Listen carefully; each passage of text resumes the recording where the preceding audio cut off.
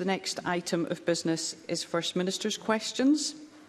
I intend taking both constituency and general supplementaries after question two, so please press during question two for such a supplementary, and I'll take supplementaries to questions three to six as they arise, so please press during the relevant question.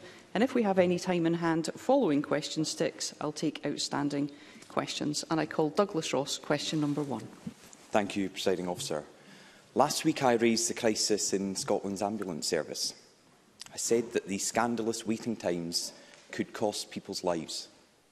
This morning, we all read in shock and horror about 65-year-old Gerard Brown, who died after a 40-hour wait for an ambulance. When the paramedics reached him, all they could do was pronounce him as dead. His body was still warm.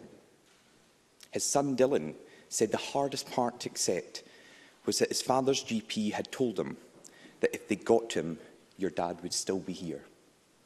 Just think about that. Being told if they got him, your dad would still be here.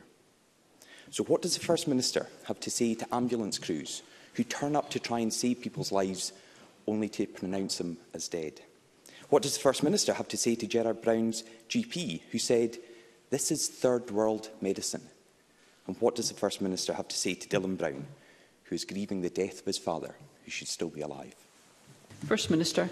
Well, firstly, my uh, condolences are with Mr Brown. Um, the individual cases that are reported in the media this morning obviously require to be fully and properly investigated, um, and it would not be uh, right for me to preempt uh, those investigations. But what is reported is unacceptable, um, and I am in no doubt about that. And Uh, as I said last week, our ambulance service is working under acute pressure right now, uh, largely due to COVID. Uh, I want to take the opportunity to thank our paramedics and technicians for the work they are doing in such difficult circumstances.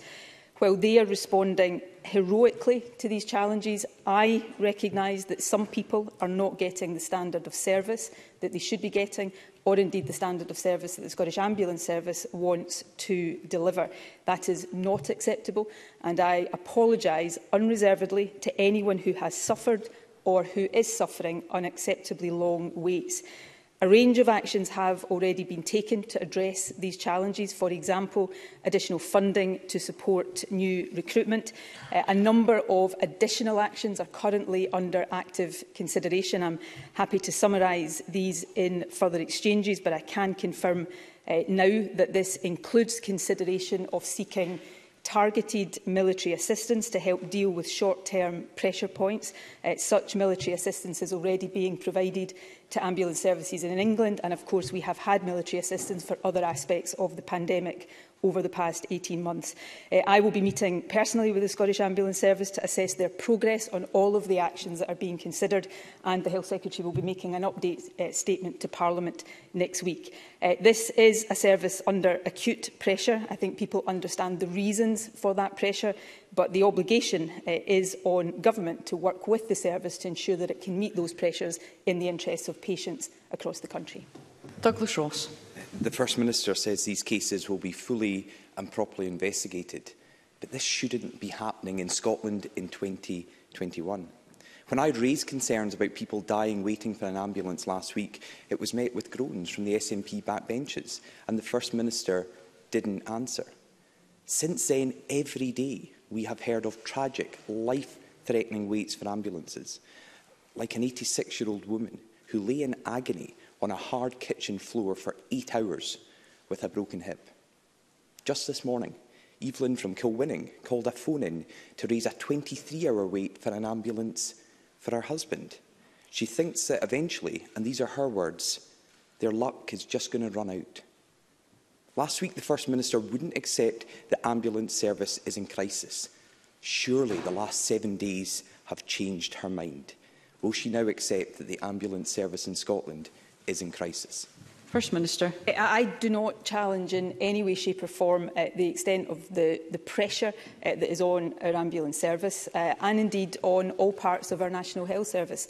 It is incumbent on me as First Minister with uh, all of my colleagues across government to support the service as it faces up to these challenges. These challenges are largely caused by the COVID pressure, which is increasing uh, the overall degree of pressure that our health services uh, are under. Uh, it is uh, my responsibility to deal with these challenges in Scotland, obviously, but these are challenges mirrored in health services across the UK and indeed many parts of the world because of the realities of COVID. Uh, the uh, fact that anyone in our country uh, waits an unacceptable period of time for an ambulance when they need urgent care is not acceptable to me and it's not acceptable to anyone. And that is why we will work closely and intensively with the ambulance service to support it to meet those challenges, which I would expect to continue for a period uh, as the COVID pressure continues and, of course, as we go into the winter months. Um, I set out last week uh, some of the actions that we have already taken, uh, significant additional funding to support significant extra recruitment of paramedics and technicians in our ambulance service. Uh, we are uh, currently with the ambulance service considering a range of additional actions, more support for uh, rural ambulance stations, uh, alternative transport arrangements for lower risk patients to uh, make sure that the ambulance service resource is there for higher risk patients, uh, the deployment, for example, of more hospital ambulance liaison officers to help the transfer from ambulance to hospital and indeed the discharge and temporary admission wards uh, to again uh, ease that uh, bottleneck that is existing right now uh, between ambulances and our hospitals. And as I said earlier on, uh, we will consider uh, seeking targeted military assistance. Um, I do not in any way uh, underestimate the extent of the challenge uh, facing the ambulance service and, by extension, people across Scotland.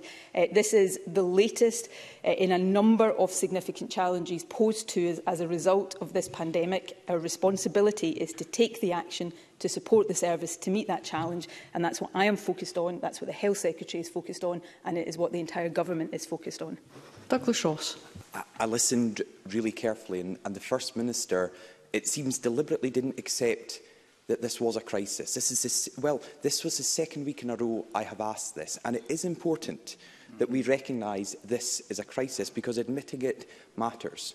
So I hope the First Minister will stand up and admit it, because it then means that the government can start looking for help in tackling the problem. She's mentioned considering the targeted military assistance. That was a call from the Unite Union. And they're also asking for the ambulance service to declare excuse me, a major incident status, uh, and we support those calls. But what about the Scottish Government? Hamza Youssef's response is to tell people to think twice before they call an ambulance. Yeah. Think yeah. twice before they call an ambulance. That is dangerous and it is reckless. Yes. Will the First Minister apologise and withdraw those remarks on behalf of the Scottish Government? And will she tell people they should never think twice about calling an ambulance in an emergency? First Minister. Firstly, Presiding officer, I think what people uh, are looking to me for and to the government for is the action to deal with the situation we face. I think that's more important than what we choose to call it. I am not trying in any way uh, to evade the reality that we are currently experiencing, and it is our frontline health workers who are experiencing it, probably the most challenging combination of circumstances that, or, or at least one of the most challenging combination of circumstances that our health service has faced since its establishment. So there is uh, no sense in which I am seeking to underplay that at all. Uh, Douglas Ross uh, said that the ambulance service should declare a major incident. Uh, let me just explain that the ambulance service operates uh, at different levels of escalation. It is currently operating at level four of its escalation plan, which is the highest level. So again, terminology here uh, shouldn't be allowed to mask the reality. This is an ambulance service operating at its highest level of escalation. It is, for example, deploying a national command and control centre as part of that uh, to better utilise resources across the country. Uh, and we will continue to consider uh, all ways in which uh, we can utilise and deploy additional resources and some of what we are uh, currently considering with the ambulance service I've already set out. Uh, let me finally turn to uh, the uh, comments of the Health Secretary. What, what the Health Secretary was saying uh, is things that Health Secretaries have said uh, for many times. I remember saying it myself when I was Health Secretary. I've seen comments from uh, ambulance services in every part of the UK uh, over the last few days saying exactly the same thing, which is uh, where people uh, require uh, intervention from the health service that comes would, would better come from parts of the service other than the ambulance service, then we should encourage them to do that. Where people, where people consider that they need an ambulance, they should never hesitate in calling an ambulance if that is the intervention they think is required. And as First Minister, let me be very clear, the ambulance services there to provide emergency assistance to those who need it. It is facing the most intense challenges and some people are not getting the service that they should be. But the answer to that is for government and the service uh, to work to make sure that they are meeting that so that anybody who needs an ambulance uh, doesn't feel that they should hesitate to phone an ambulance and uh, just as importantly that they get the ambulance timiously as they have a right to expect. Douglas Ross. First Minister is say, saying, and I wrote it down, she's not trying to evade the reality. Why will she not then just accept that in Scotland our ambulance service is in crisis? We are hearing it day in, day out from people across Scotland. We are hearing it from the front line, from the paramedics, from the technicians, and we are hearing it from Unite the Union and others.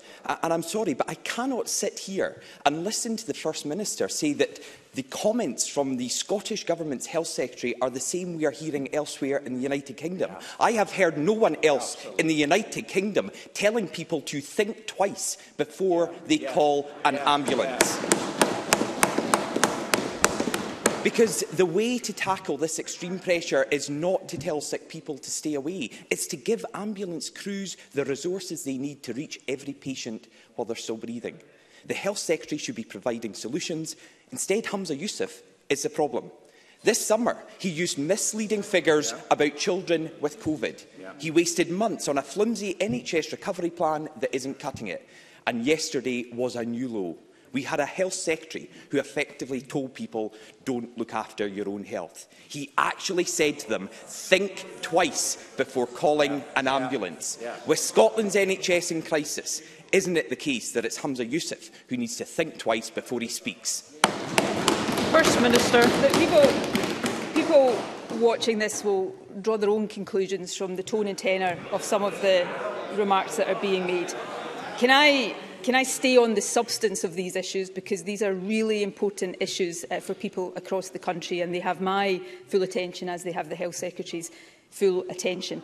Um, Douglas Ross um, is uh, continuing to question me about terminology, so let's just be clear. This pandemic has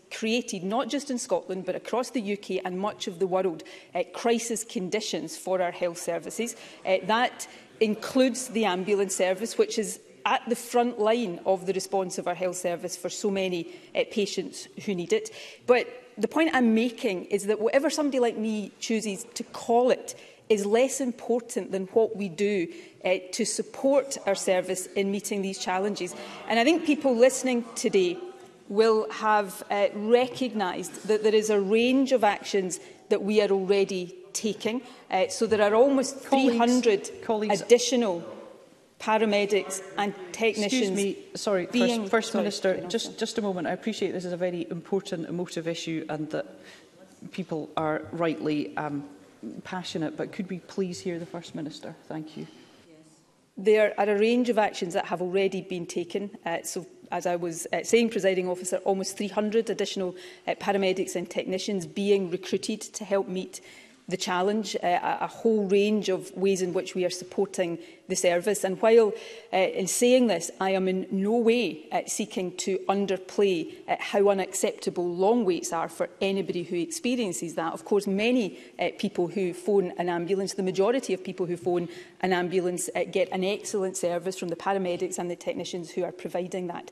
Uh, we are considering a range of additional actions, and I've set out what some of those are. Uh, the Health Secretary will make a statement uh, next week uh, to update uh, on those. Uh, these are matters Um, somebody shouting at me, why next week? Because that will be the next parliamentary opportunity to make a statement. I am... Douglas Ross is saying, do it now. I am standing here right now setting out the things that we are doing. I, I and the Health Secretary uh, will be dealing with this over the course of today, tomorrow, the weekend, into next week for as long as it takes.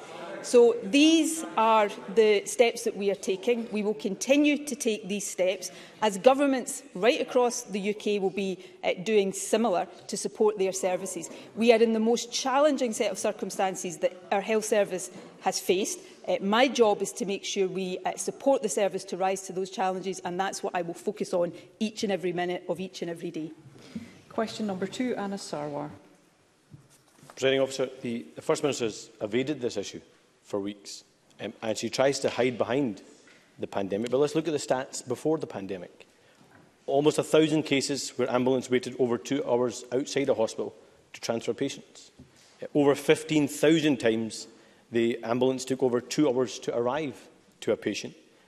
And a staff survey finding that 63% felt that the ambulance service was short-staffed before the pandemic.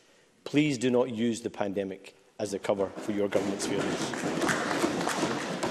The truth is, this is an avoidable human tragedy on a heartbreaking scale. Lillian Briggs broke her hip and had to wait eight hours on the floor for an ambulance.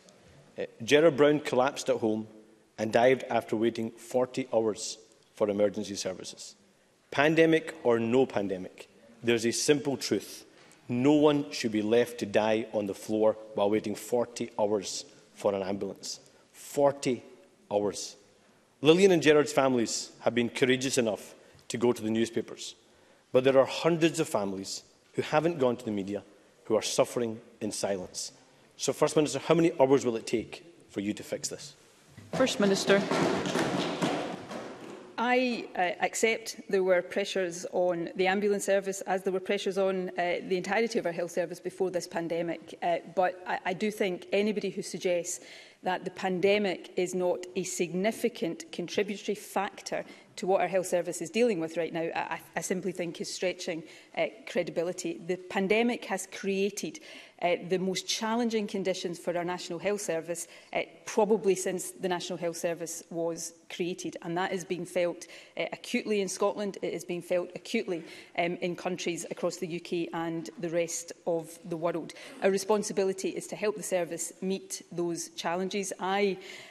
um, I'm very clear in my mind it is not acceptable for one person, uh, let alone uh, more than that, to wait anything like the times that some people are experiencing right now. That is why we are taking the actions uh, that we are taking.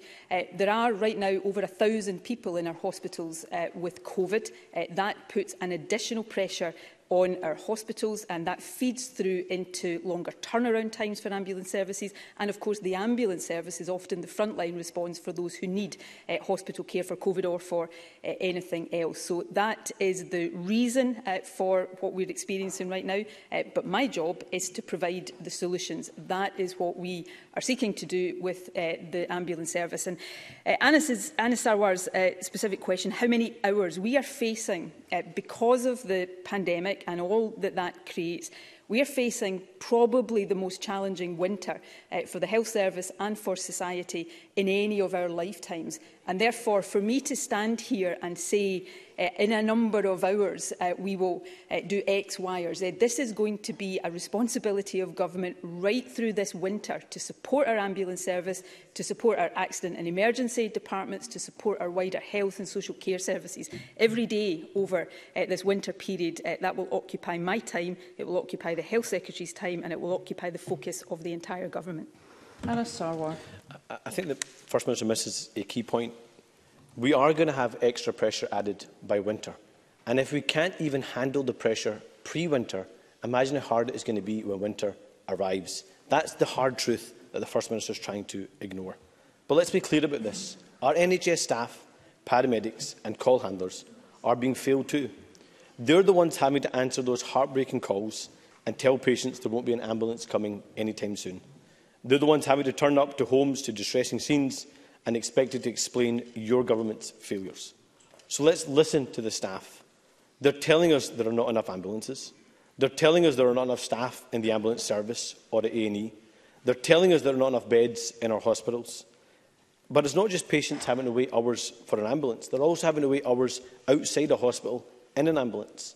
And things are so bad that the British Red Cross has been drafted in to deliver humanitarian assistance at Glasgow's flagship hospital. I know what the First Minister said about the role of the British Army.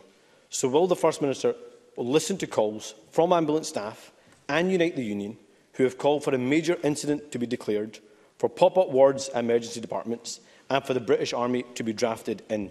When will that happen? First Minister. I said, I think in my first answer uh, during this session, we are actively considering the detail of a request for targeted military assistance. It's important that we uh, make that request in detail so that we know exactly what it is we are requesting from the military, um, and that is uh, currently uh, being prepared right now. On the issue of uh, the call for a major incident, as I said to Douglas Ross, again, we're, we're getting a bit lost in terminology here. The ambulance service is operating at its highest level of escalation. Uh, because we don't call that uh, major incident. It's called level four of their escalation doesn't change the reality. And I would suggest that it is more important that we focus on the substance of what we are doing uh, rather than perhaps have uh, manufactured disagreements uh, over the terminology. On the issue of pop-up wards, um, again, I, I think I said uh, uh, be corrected if I'm wrong and didn't say this earlier on, presiding officer, but uh, I referred earlier on to the consideration that again is uh, underway right now uh, around temporary admission wards. Uh, why pop-up wards may not be appropriate because we're going into a winter period and that may not be the best conditions for patients. So we're looking at uh, an equivalent, which is temporary admission wards. So all of these things uh, that uh, we are being asked about today, uh, we are already taking forward. Uh, this is an incredibly challenging situation, uh, more so uh, for those in the front line. And as I said earlier on, let me repeat uh, my uh, deep gratitude to those who are working in the front line of our National Health Service uh, right now. Uh, but we will continue to take the steps uh, and provide the solutions. Uh, we all know what the problem is. We may have a disagreement about what the cause of that problem is. Uh, my job, working with others, is to find the solutions. And that is what I am going to be focused on for as long as that takes. Anna Sarwar. you don't understand the urgency. You want to wait a week for a statement and then actions to follow that. You want to consider options about what happens with the British Army. How many more Lillian Briggs need to happen in the next week before we take urgent action? How many more Gerard Browns need to happen in the next week before you take urgent action? Urgent action needs to happen today, tomorrow, the day after, the day after. Not wait a week for this government to wake up So the First Minister says she's taking action, but for months her and her health secretary have been in denial. Things are getting worse. People can't afford to wait. And these problems are years in the making. 600,000 people are waiting on waiting lists for treatment. We have record-breaking A&E waiting times, and people are tragically dying waiting for ambulances. The First Minister likes to remind us that the buck stops with her. It does. So how many more families will have to suffer? How much more stress will our workers have to endure? And how much more time does she expect people to give her and her health secretary to fix this mess? First Minister. The buck always stops with me and uh, whatever people agree or disagree with me on, um, I've never tried uh, to shy away from that and nor will I ever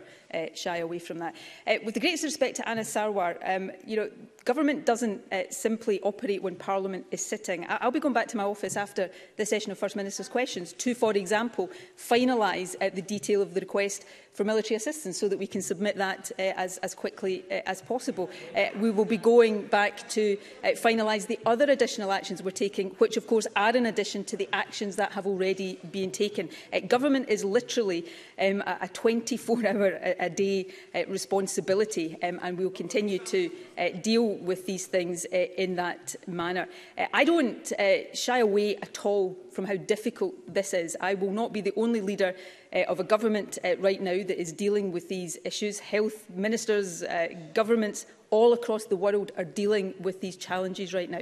Our job is not, though, just to describe the problem. Our job is to provide the solutions, and that's what my government is absolutely focused on doing. Now move to supplementary questions, and I call Jenny Minto. Sorry, apologies, presiding officer. The UK Government has now confirmed that it again intends to delay post-Brexit food and farming import checks. Once again, Scotland's vital food and farming sector finds itself paying a price for the Tories' extreme Brexit plans. Does the First Minister share my concern that this last-minute delay highlights that the Tory government has no real solution to the Brexit issues it has created and is just kicking the can down the road once again? First Minister. Um, yes, I, I think that is absolutely correct. Uh, we have been warning about the implications of not just Brexit, but a hard Brexit now for months and months and months. Um, and just this week, of course, uh, as the member rightly says, we've seen a further delay to the necessary infrastructure, necessary, although deeply regrettable, uh, infrastructure that needs to be in place to support some of this. Uh, and it is, of course, uh, our food and drink sector, our agriculture sector that are paying the price for this. So I very much hope to see uh, the solutions put in place uh, to alleviate remediate uh, this situation as quickly as possible. But I don't think anybody should be in any doubt uh, that these sectors are going to be facing uh, the inescapable consequences of Brexit for some time to come. And that, of course, is the responsibility of the Tory government at Westminster. Alexander Stewart. Presiding officer, many across my region have participated in Age Scotland's big survey for older people, which revealed more than half reporting that the pandemic had made them lonely. One-third felt that their mental health had deteriorated and one-third felt that they were feared to be a burden to society, but a staggering 71% being targeted by phone scammers. First Minister, these figures make grim reading and they are a reminder how, how marginalised older people feel in our society. Therefore, what further action will the Scottish Government put in place to make sure that these trends are reversed? First Minister. Well, the impact of the pandemic on older people and the impact on loneliness and isolation, I think, is, is well understood. Uh, there's a range of different ways in which we need to uh, seek to tackle and address that. Uh, we have one of the things we've done, which uh, I know was narrated, in the Audit Scotland report just this week about COVID spending, we have spent uh, disproportionately um, compared to other parts of the UK on support for the charity sector because many of these charitable and third sector organisations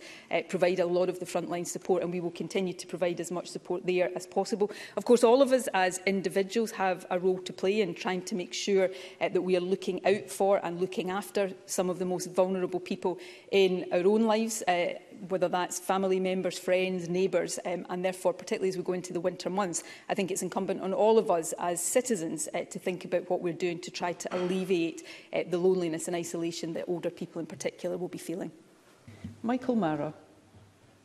Thank you, President Officer. In the last 24 hours, Unison members at the University of Dundee informed management that they will take five days of strike action starting in the first week of teaching of the new term. Proposed changes to the university pension scheme will hurt only the lowest paid of staff, disproportionately female workers, and could result in workers losing up to 40% of their pension.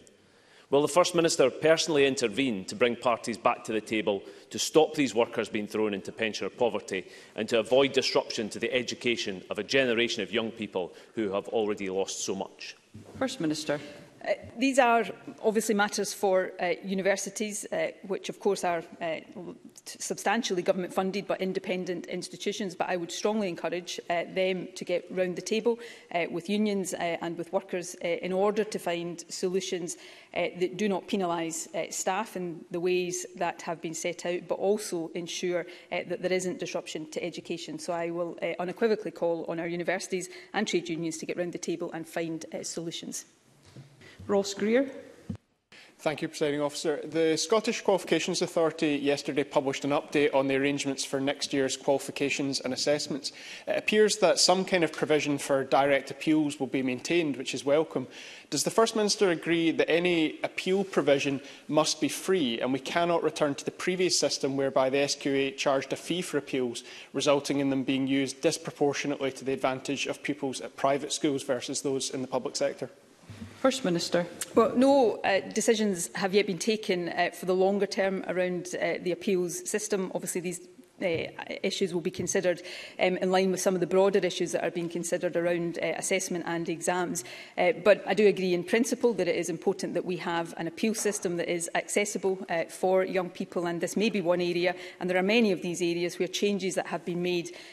uh, that have been necessitated by the pandemic uh, are good changes that we should look to uh, keep and to build on. And I'm sure all of these things will be taken into account as uh, decisions are taken for the longer term.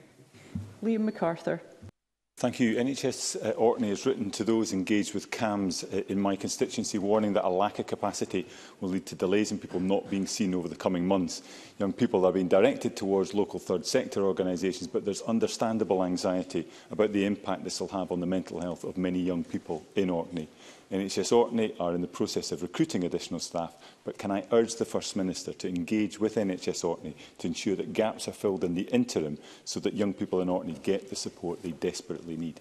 First Minister. Uh, yes, I'm happy to undertake that we will engage with NHS Orkney to provide uh, whatever support we can. Uh, Liam McCarthy is right to point to the fact that there uh, is already record numbers of people working uh, in our mental health services uh, and there is uh, recruitment underway across the country but uh, as he says also in NHS Orkney um, but it's important that we provide uh, support uh, to fill any interim gaps and therefore I'll undertake uh, to ask the Health Secretary to have that conversation and write to him once he's had the opportunity to do so.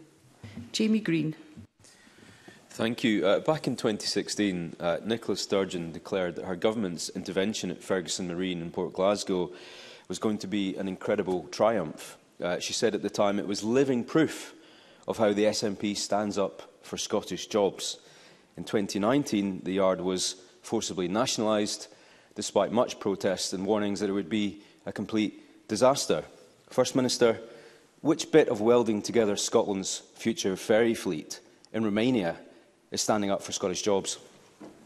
First Minister. Well, what I would say is that due to this government's interventions at Ferguson's, there are hundreds of people working at Ferguson's today that wouldn't be working at Ferguson's because it wouldn't still be operational had we not intervened in that way. Uh, Ferguson's is on a journey to recovery. It has a way to go uh, in that journey. I think that is uh, self-evident. Its priority is on completing uh, the two ferries currently under construction and, of course, continuing the work to make sure it is uh, in shape to compete successfully uh, for contracts both domestically and uh, further afield in future. And we will continue to support the yard in that vital work. But be, uh, let's be in no doubt, but for the actions this government has taken, Ferguson's doors would be closed right now and those hundreds of workers there would not have a job. Thank you. Question number three, Alex Cole-Hamilton. Thank you. Do you ask the First Minister how the Scottish Government will uh, support the Scottish Ambulance Service in coping with reports of unprecedented pressure that is resulting in significant increases to waiting times? First Minister. Um, obviously, Presiding Officer, I have uh, covered uh, much of this uh, already in previous answers, but the ambulance service, like other areas of the NHS, is under considerable pressure as a result of the unprecedented demand uh, which uh, is caused largely by the impact of the pandemic. Uh, our ambulance service staff are doing a heroic job uh, delivering emergency health care to uh, the people of Scotland, but some people are, as I've already reflected on, waiting far too long for ambulance services. Uh, we're in constant uh, dialogue and engagement with the ambulance service. We have provided additional funding. We've taken a number of actions already, and as I've set out uh, previously today, there are a number of additional additional actions currently under consideration. Alex Cole-Hamilton. I'm very grateful for that reply. We've heard the stories of Lillian Briggs and Gerard Brown, but they are not alone. I have mentioned Catherine White before. She's a retired nurse of 40 years and given her life to the care of others, but she waited 15 hours for an ambulance last month. Well, she fell again last week. She suffered fractured feet, a fractured pelvis and delirium, yet she waited another eight hours for help. Only when my constituent told operators, my mum is dying, did the ambulance come after yet another hour. The ambulance service have been failed by this government, just like Lillian and Catherine. This isn't just the pandemic. They simply don't have the resource to prioritise these cases. Calling in the army is evidence of a government that has done too little too late. So can I ask the First Minister what discussions she has had with the service about the integration of the armed forces and when she expects them to be deployed? First Minister. Discussions are underway. As I said, we will be finalising uh, the request for military assistance uh, shortly. Um, but that is one of many actions that we are taking. Uh, we are providing additional resource. I think uh, revenue funding, resource funding to the ambulance service is at, at record levels. I think staffing um, is at higher levels than it has been uh, in previous years and there is further recruitment underway. Uh, there's al also, because the problems that the ambulance service uh, are facing uh, are to some extent caused by pressures elsewhere in the National Health Service, not least in our accident and emergency departments. So there is also a lot of work uh, being done there uh, to try to alleviate those pressures. So we will continue to take the actions uh, that are necessary to support uh, those who work in the ambulance service, provide uh, the level of service that patients uh, demand and have a right to expect. I have said uh, already today that I don't think it's acceptable for anybody to wait the kinds of uh, periods that are being reported right now. Uh, it is not acceptable uh, even during pandemic conditions, which is why we are focused on finding the solutions uh, to allow the ambulance service to provide the uh, level of response that they want to and people have a right to expect. Sue Webber. Thank you, Presiding Officer. What's clear is what the pandemic has done is that it has exposed the weaknesses that were there before. We've heard concerning reports from NHS staff that the Golden Jubilee, Stob Hill Hospital and the Royal Hospital for Children are seriously understaffed, struggling to cope with the volume of patients and treatment at each hospital site is now severely limited. Can the First Minister confirm if any departments have been closed to new patients and if elective surgery has been stopped in any of those hospitals? First Minister the decisions to pause uh, temporarily elective surgery to enable them to deal uh, with emergency services. Again, that is not something that is simply happening in Scotland. Uh, we are seeing that happen in parts of the health service across the UK because of the, the pressure of, of COVID. And we will continue to support the health service to take the decisions that they consider are appropriate to provide uh, care to people who need it. But be under uh, no doubt, uh, our objective is to get the health service operating uh, again in a way that it can deal with uh, the pressures of COVID uh, without that having an impact um, on non-COVID and uh, elective services. That's what the recovery plan is focused on and we'll continue to support uh, the health service to do that. But at the heart of this, of course, um, is the imperative to get COVID cases down uh, so that as that pressure reduces, the health service can get more and more back to normal. And that brings us back to the central messages to everybody about all of the uh, mitigations that we all have to follow to make sure we keep COVID cases on a downward track. Paul O'Kane. Between 2016-17 and 2019-20, over 11,000 ambulances were sent out with a single crew member, an increase of nearly 39%. When the First Minister was Health Secretary, she said that she would take action to eliminate rostered single manning and that ambulances should be double crewed with at least one member of being a paramedic unless in exceptional circumstances. Those are her words. In the midst of this crisis in our ambulance service, will the First Minister tell the Chamber how many ambulances have been single-crewed since the start of the pandemic and why her government has failed to eliminate the practice as she pledged 13 years ago? First Minister. Um, I don't have that information in front of me. I will undertake to provide uh, that information. But we uh, did uh, effectively eliminate uh, single crewing. Um, and because when I became Health Secretary, it was at unacceptably high levels. Uh, and therefore, it is the case that uh, ambulances are single crewed only in exceptional circumstances. During a global pandemic, uh, we will face exceptional circumstances literally on a daily basis. Uh, but uh, the routine rostered single crewing uh, that was endemic under previous administrations was dealt with by this administration and we will continue uh, to make that a priority as we come out of and recover from the pandemic. Question number four, Bill Kidd. Thank you, President Officer. To ask the First Minister whether she'll provide an update on the preparations for COP26. First Minister. But we're working closely with a range of partners to deliver a safe and successful COP26 uh, reviews into Police Scotland's preparations, including a recent uh, report from Her Majesty's Inspectorate of Constabulary uh, offered a high degree of assurance around the ability to balance business as usual policing with COP26 operations. Uh, the transport demand strategy is in place uh, and the COVID adaptation plan developed by Chief Medical Officers from the Scottish and UK governments will be published uh, shortly. I uh, had a, a meeting uh, yesterday with the United Nations Executive Director on climate change to consider some of the broader uh, issues around the COP26 negotiations. Bill Kidd. Uh, thank you, First Minister. the Conference for Youth has always been funded by the government of the UN member state hosting COP. So can I ask the First Minister what discussions she's had with the UK government regarding their decision not to fund the conference? And can I put on record my thanks that the Scottish Government has stepped in to ensure that the voices of young people who have been so important in pushing for change aren't lost? First Minister. Um, I don't I don't know why the UK government has decided not to fund the Conference of Youth. I do understand that's the first time the, the host nation has, has not done so, uh, but I'm not particularly interested in the reasons for that. I think it's important that the voice of youth is heard. Uh, therefore, I was pleased to confirm that the Scottish Government will fund the Conference of Youth, which brings young people from, I think, 140 uh,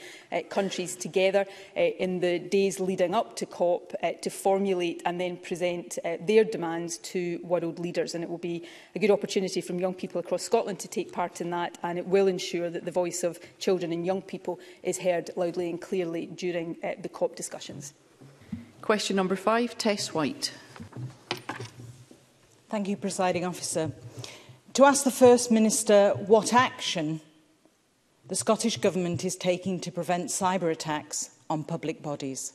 First Minister. Uh, we work closely with public sector bodies to raise the baseline standard of cybersecurity in line with guidance from the UK National Cybersecurity Centre.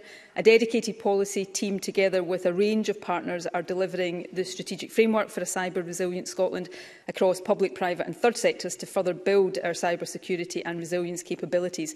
Uh, the Government shares cyber threat intelligence, including those during real-time incidents as part of its early warning process. It provides regular training, advice and support to the public sector, encouraging regular exercising and cyber incident response planning.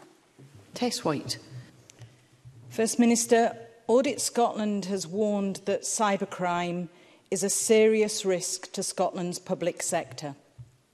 With 27 separate attacks recorded since 2017, Given the considerable cost to the public purse of the ransomware attack on the Scottish Environment Protection Agency in December 2020, as well as the ongoing impact on its operations, is the Scottish Government satisfied that public bodies have achieved the standards set out in the pub Scottish Public Sector Cyber Resilience Framework? First Minister. Well, Uh, can I firstly thank Audit Scotland for the work it has done here. Uh, though with the greatest respect to Audit Scotland, um, I don't think uh, any uh, government is under uh, any illusion about the threat of cyber attacks uh, in our countries uh, to the public sector, the private sector and indeed to governments uh, themselves. It's a risk that we take extremely seriously. There have been some very significant cyber attacks um, happening to public sector organisations in Scotland, SEPA obviously being uh, a case in point. Um, the question, which I think is a reasonable question, uh, are we satisfied that the public uh, sector organisations are taking all of the appropriate steps? We are working with them to ensure that is the case. I, I think I would hesitate, uh, and I, I think probably every government should hesitate uh, to sound as if they are complacent about this because it is a real and present and ever-changing and evolving risks. So we must make sure that on a day-to-day, week-to-week basis, we are providing the protections and supporting the public sector to do likewise, and we will continue to do that.